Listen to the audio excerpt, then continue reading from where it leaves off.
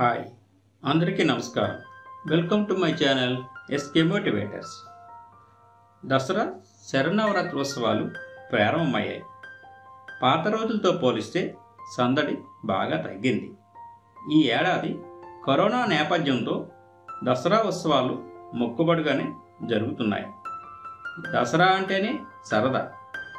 ఆ పేరులోనే ఇమిడి ఉంది సందడి. హిందువుల ముఖ్యమైన పండగ ఇది.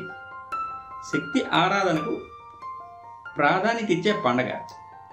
ఈ పండగను దేవీ నవరాత్రులు శరన్నవరాత్రులు అంటూ పిలుస్తారు. దసరా పండగను విజయదశమి రోజున జరుపుకుంటాం. విజయదశమి రోజున రాముడు రావణుడిపై గెలిచినట్టు పురాణాలు చెబుతున్నాయి.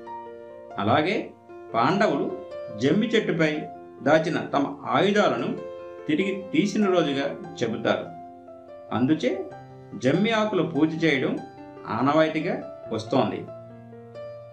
జగన్మాత దుర్గాదేవి మహిషాసురునితో తొమ్మిది రాత్రులు యుద్ధం చేసి అతన్ని వధించి పదవ రోజున ప్రజలు సంతోషంతో విజయదశమి జరుపుకుంటారు. దేశంలో వివిధ ప్రాంతాల్లో దసరా ఉత్సవాలను ఘనంగా నిర్వహించడం జరుగుతోంది. ఆ రోజులే వేరు. రెండు మూడు దశాబ్దాల క్రితం దసరా సెలవుల్లో ఉపాధ్యాయులు తమ పాఠశాలలో చదివే పిల్లలను వెంటబెట్టుకొని వారింటికి వెళ్ళేవారు. పిల్లలు కొత్త బట్టలు ధరించి అయ్యవారి వెంట నడిచేవారు. నాలుగైదు రోజుల పాటు పిల్లలు బాణాలు పట్టుకొని దసరా పద్యాలు పాడుకుంటూ సందడి చేసేవారు.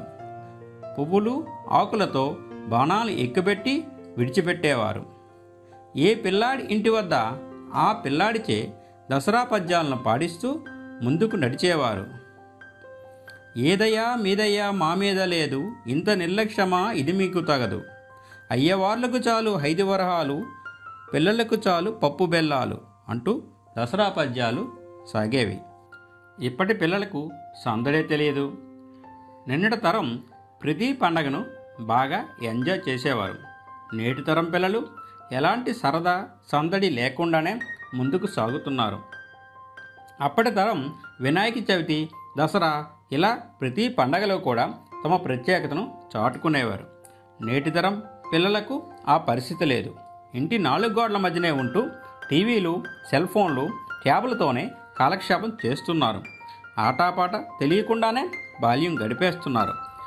ఇప్పటి పిల్లలకు అమ్మానాన్నలే స్నేహితులు. మిగిలిన వారితో అంతగా సంబంధాలు ఉండడం లేదు. నాటి రోజులు మరి వచ్చే అవకాశం లేదు. పరిస్థితులకు అనుగుణంగా ముందుకు సాగక తప్పదు మరి.